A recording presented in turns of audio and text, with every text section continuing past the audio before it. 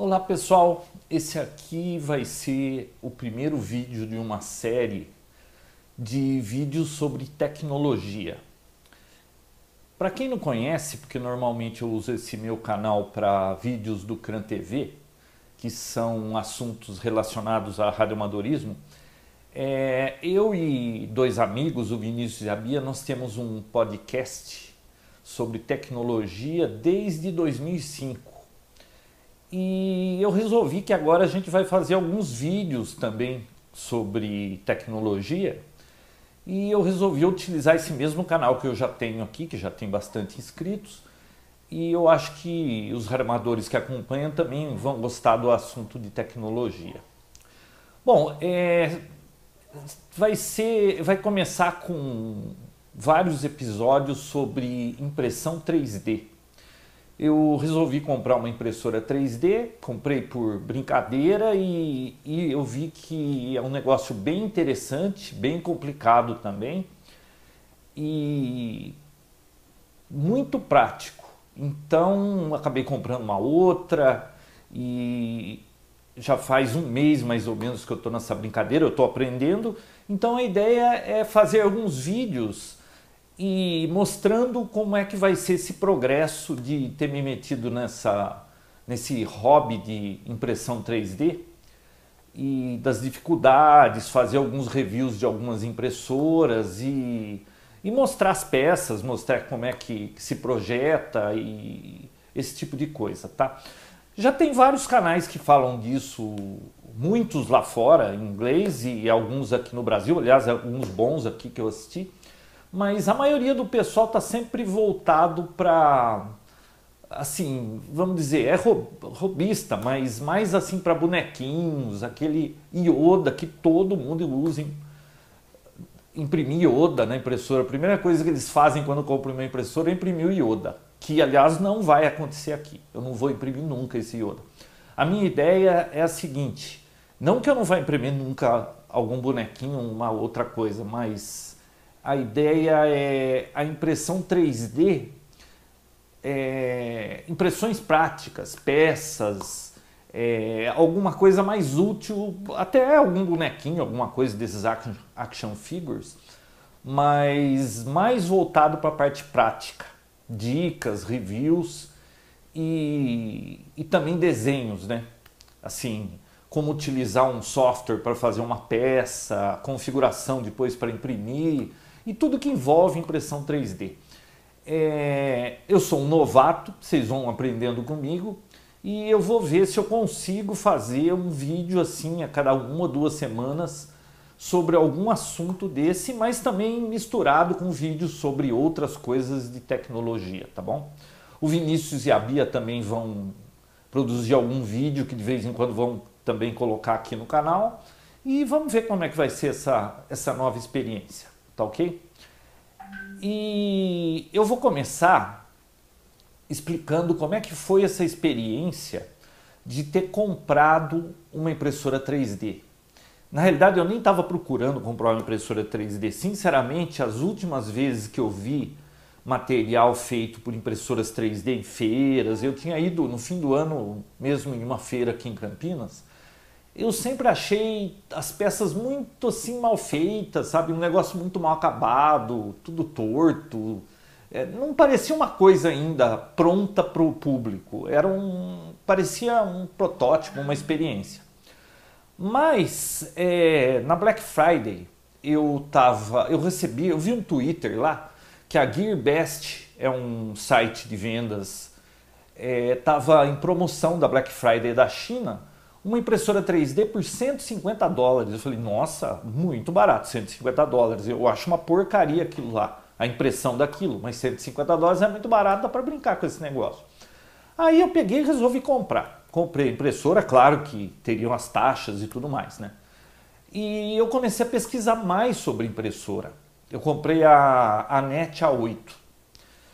E eu percebi que haviam impressões que ficavam muito boas e outras horrorosas. Eu falei, pô, tem uma coisa errada, estão usando a mesma impressora, né?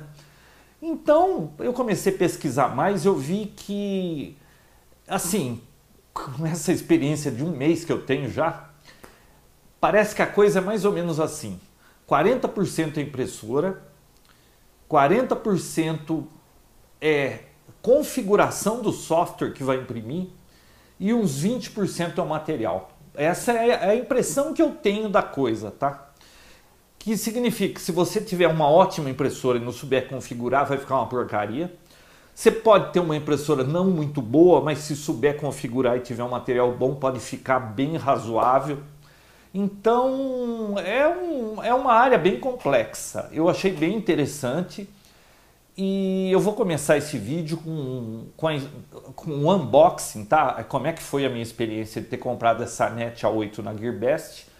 Um unboxing, um time-lapse da montagem e no final eu vou contar como é que foi essa montagem, se eu tive dificuldades, como é que, como é, que é isso, tá?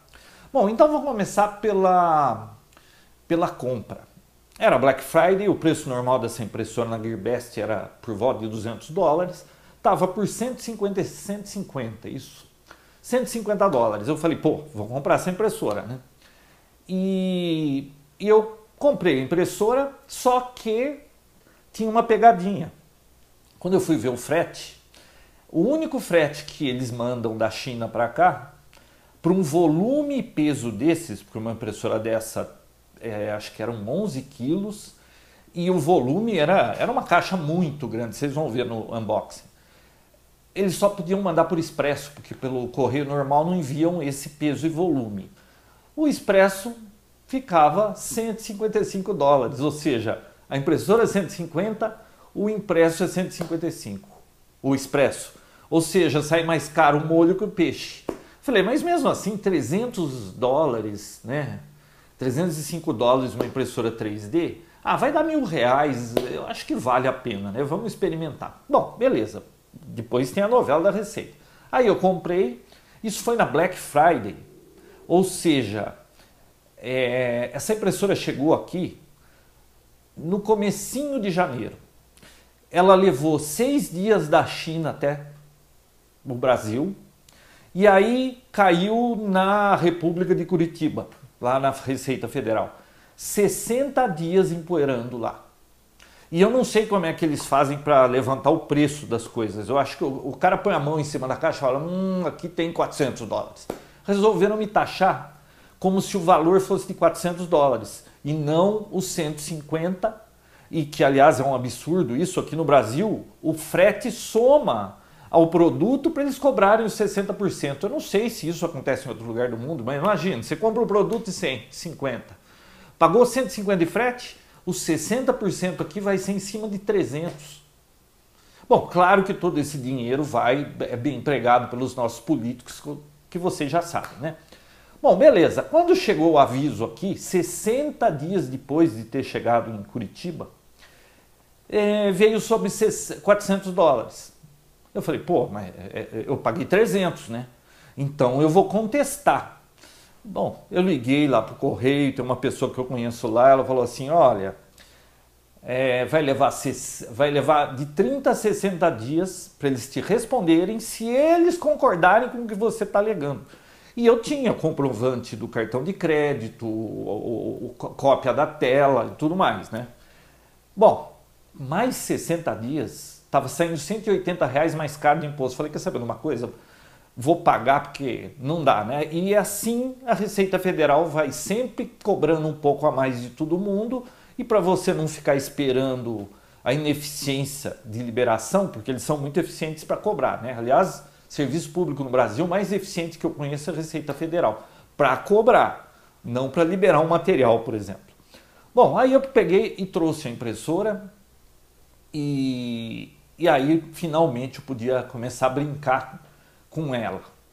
Então, agora eu vou mostrar para vocês o unboxing, para vocês verem o que veio, qual é a qualidade do material, a complexidade desse material e, e depois então o time lapse e no final a gente fala um pouquinho de como foi essa experiência.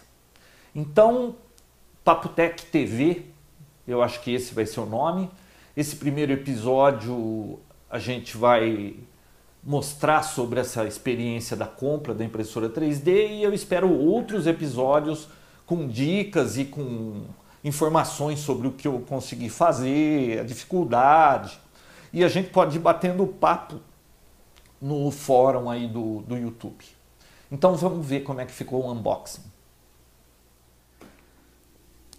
Tá aqui o pacote. Aparentemente a receita não abriu para conferir nada. Eles provavelmente tiraram a nota daqui e eles marcaram aqui impressora 3D. Esse objeto foi tributado pela Receita e mandaram ver o imposto. Bom, então vamos ver. Só tá com um papel aqui.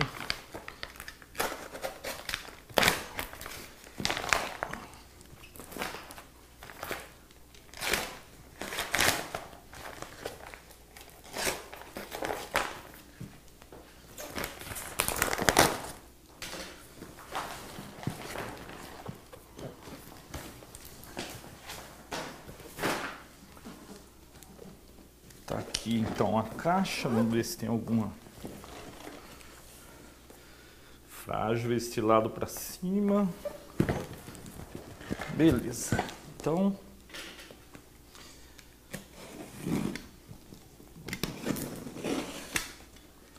Até que bem embalada, né?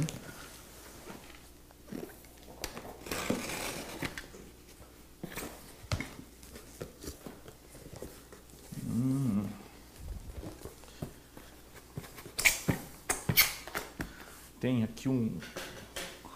Ela está envolta num. lacrada num outro plástico.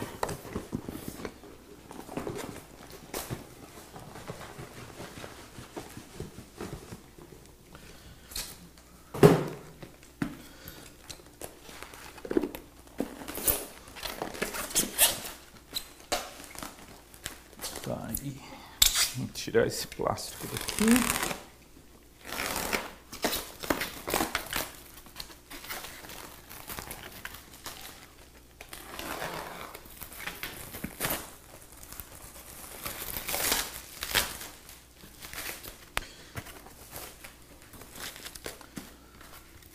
Então, vamos começar a ver o que, que veio no pacote. Isso aqui é o suporte da o carrinho da cama, né? De alumínio.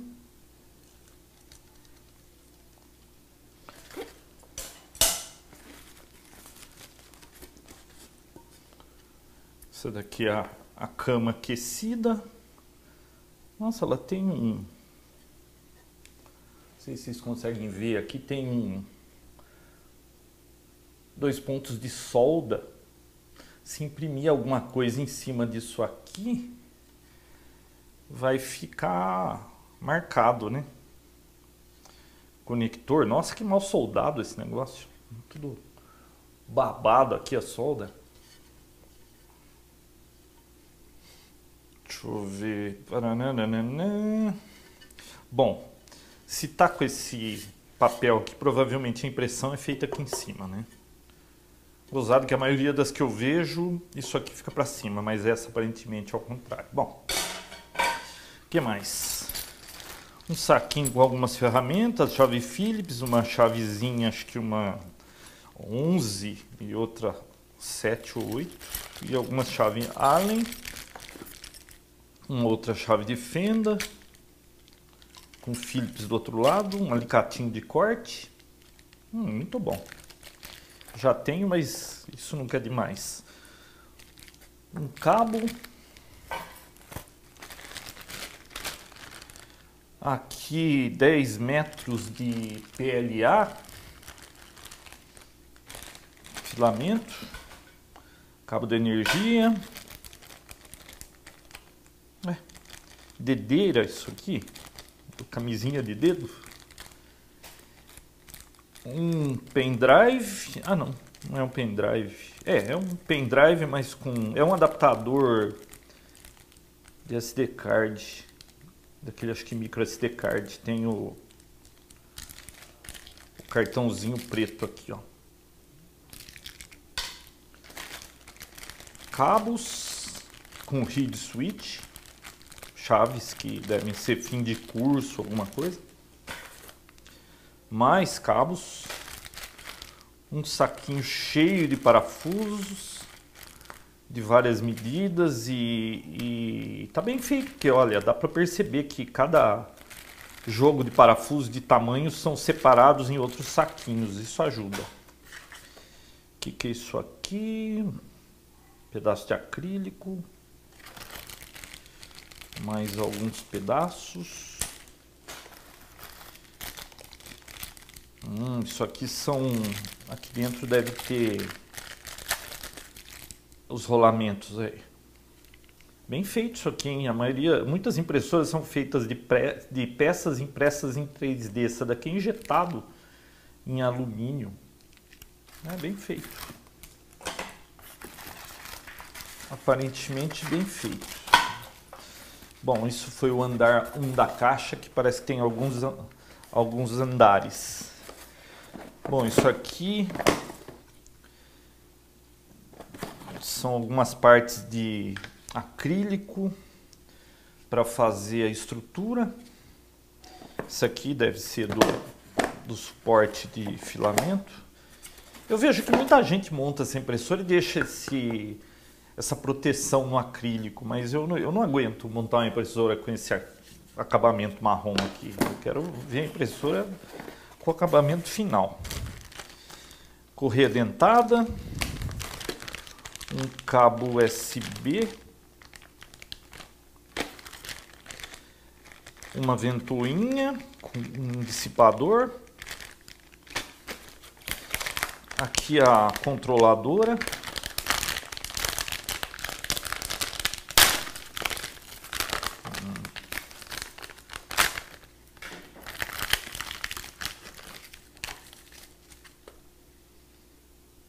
Aqui a controladora da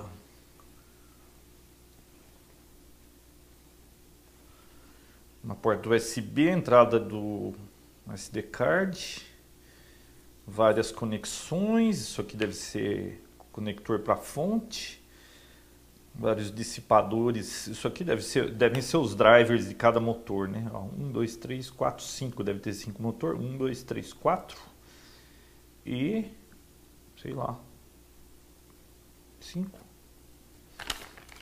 Tá aqui a net, a controladora.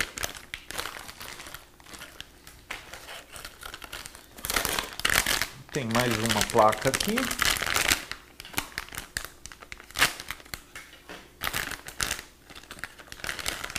São duas placas. Ah, não, isso é o display. Esse aqui é a placa do display azul que vai no painel frontal. Nossa, cada botão grande?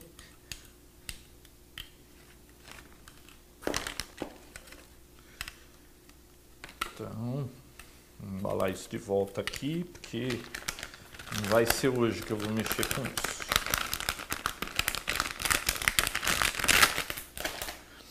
Bom, e o último andar,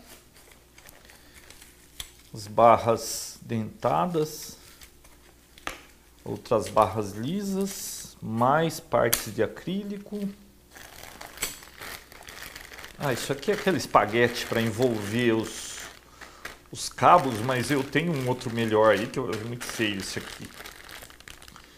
Várias fita Hellerman, né? Aqui a gente fala fita Hellerman, nos Estados Unidos isso aqui é, é como que é? Tai?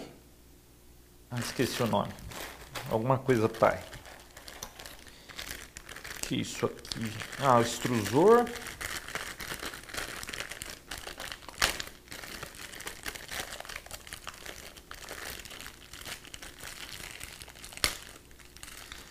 é a parte que derrete o filamento e, e faz a impressão. Ah, tem um motor de passo aqui. Ah, ele, ele controla a entrada do filamento aqui com, com essa engrenagem dentada aqui que pressiona ali naquela rodana e, e, e puxa o filamento para passar aqui pelo bico que aquece. Né? Nossa, que bico fininho! Nossa, isso aqui tá parecendo ponto 1. Eu não sei qual que é o, bico que eles enviam, mas depois eu vou conferir. Nossa, é muito pequenininho. Extrusor, vamos ver se fala. Hot end, mas não diz que, que tamanho esse bico aqui. O que mais? Outra ventoinha. Algumas peças. Essas peças aqui são impressas em 3D. Já veio montado aqui uma peça. Se for impresso nessa própria impressora, não tá mal não, hein? Olha, para minha aplicação que é protótipo, isso aqui tá muito bom. Não sei se daria para ver detalhes.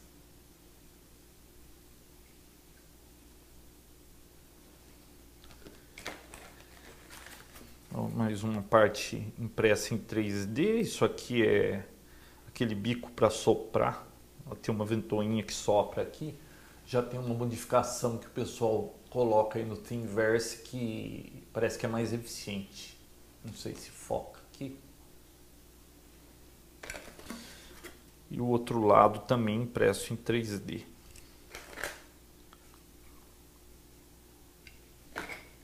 É, muito bom. Para a Prussa, eu encomendei uns, umas, uns rolamentos lineares desse aqui, de autolubrificante de resina, uma empresa, acho que suíça, que fabrica. Vamos ver se chega antes da Prussa. Né? Motor de passo. Vamos ver como é que tira esse motor daqui. Olha aí. Um, dois, três, quatro. E tem outro no extrusor. Quatro motores de passo.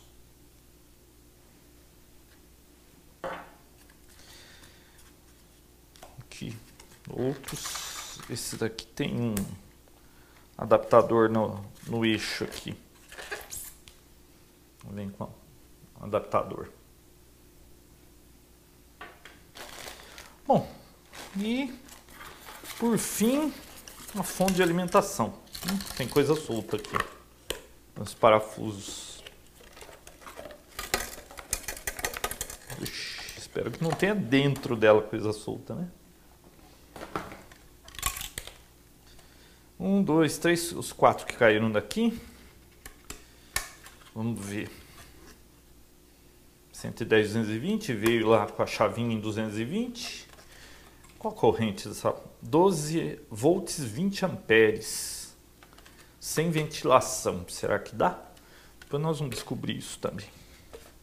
Bom, é isso aí então, para o que veio dentro da caixa. Tá então Agora vamos ver como é que vai ser a montagem desse material. Eu vou começar. Eu acho que eu não vou terminar no mesmo dia, porque vou começar depois do almoço, né? E, e eu sei que o pessoal leva de 5 a 7 horas para montar essa impressora. E eu quero montar com calma, ver. O legal de você montar uma impressora e não comprar uma pronta, pelo menos para quem está interessado em, em aprender o funcionamento da coisa, é que você vai ver cada pedacinho, cada peça, cada coisa onde vai, como é que faz, o que é, antes de ter a impressora pronta. Então, quando você tiver algum problema, fica mais fácil de você resolver. Agora, claro que montagem de um kit desse é mais para pessoas que, que gostam, têm interesse técnico, pessoas mais voltadas assim para essa para essa área de, de, eu não diria eletrônica, mecânica, porque sinceramente não é qualquer um que pega um, um negócio complexo desse e monta inteirinho, tá? Eu não diria que não seria possível, mas eh, eu não sei, parece que a maioria das pessoas não muito técnicas tem uma certa má vontade para fazer as coisas, mesmo seguindo o manual. Mas então vamos lá, vamos para a montagem agora.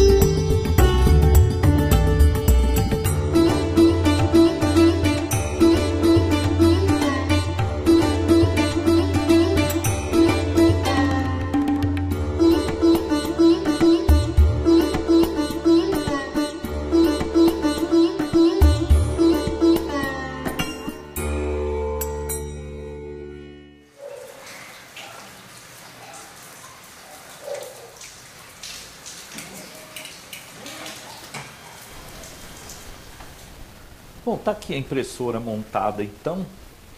A experiência da montagem foi bem tranquila. Eu fiz em umas três partes. Eu fiz um pouco depois do almoço, depois eu retomei à noite e, e no sábado pela manhã eu terminei a impressora. Olha, eu levei por volta de quatro horas para terminar a montagem. Teria sido umas três horas e meia se o meu irmão não tivesse aparecido umas coxinhas aí para eu comer. Aí atrapalhou um pouco. Aí depois eu tive que sair e voltar. Mas, bom, o material que vem no CD que acompanha a impressora, eu achei assim bem chato de acompanhar, sabe? Eu preferi pegar vídeos que eles oferecem no YouTube para você acompanhar a montagem. Se bem que aqueles vídeos o sujeito não fala absolutamente nada, você fica só vendo ele mostrar e as coisas importantes que você tem dúvida, ele fica na frente ou ele não mostra. Então, assim, teve umas coisas que, que deu um certo trabalhinho. Todo o material veio correto, não teve nada que, que ficou faltando. Aliás, mandaram algumas sobras de muitos parafusos, mandaram kit de ferramenta, é, veio 10 metros de filamento branco, que não deu para nada, né? As primeiras impressões foram um desastre, e aí depois eu consegui chegar em algo melhor, mas isso a gente vai falar no próximo episódio sobre a qualidade e como é que foi o começo das impressões. Isso aí vai ser no segundo episódio. É, eu queria também é, falar para vocês que enquanto eu esperava essa impressora e eu estava naquela ansiedade, eu comecei a ouvir falar muito de uma tal de Original Prusa MK2. É, essa impressora ela é um clone da Prusa i3. E parece que o tal de Joseph Prusa, que foi quem desenvolveu essa impressora, ele é da República Tcheca, é um open source isso todo mundo pode pegar o software, o, a parte mecânica, modificar e fazer outra impressora, né? E, e, ele tinha acabado de lançar, acabado de lançar não, fazia alguns meses, eu que não sabia porque eu não estava nessa história de 3D. Um modelo novo que ele chamou de Original Prusa MK2. E tava todas as revistas, todos os youtubers, os fóruns, é, essas revistas de tecnologia que falam de impressão 3D, todo mundo falando dessa impressora que era excelente, que pelo preço dela o kit era 699 dólares é, e montada 899 ou 799 e ela te oferecia impressões com qualidade de impressoras de 3, 4 mil dólares. Eu falei, nossa, por, por 700 dólares, né? Claro que para a gente aqui no Brasil nunca é 700 dólares. Tem o frete, tem imposto, é, tem a caixinha do guarda, você sabe como é que é. Então eu falei assim, bom, vou comprar também essa, é que eu comprei a mais barata que tinha no momento, essa chinesa. Ela é uma, eu acho que não tem mais barato que essa. E eu comprei uma que disseram, todas abaixo de mil dólares, né? Uma que disseram que era muito boa, que valia a pena. Eu falei, então vamos comprar essa também. E a gente vai ver a experiência da montagem, do unboxing, do, da diferença de qualidade e o que a gente pode fazer com um brinquedinho desses, tá? Então, tá aqui montada, não tive muita dificuldade, foi até divertido montar isso aqui. Eu só acho que o material podia ser melhor, as instruções poderiam ser melhores. E mas no fim tudo deu certo. Algumas coisas você tem que concluir porque não tem na documentação. E eu consegui já imprimir algumas peças aqui que a gente vai ver no próximo episódio. Espero que vocês tenham gostado. Se gostou, dá o like, assina o canal. E se quiserem me acompanhar no Twitter, é jrgandara. Até o próximo episódio do Papo Tech TV.